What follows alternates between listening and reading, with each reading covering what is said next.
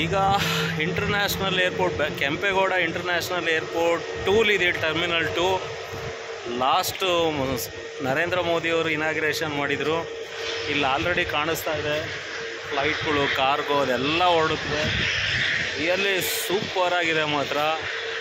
ಸಖತ್ತಾಗಿದೆ ಸೊ ಈ ಒಂದು ರಿಚ್ನೆಸ್ ರಿಯಲಿ ತುಂಬ ಖುಷಿ ಆಗುತ್ತವೆ ನೋಡಿ ಫ್ಲೈಟ್ಗಳೆಲ್ಲ ನಿಂತಿದೆ ಅಲ್ಲಿ.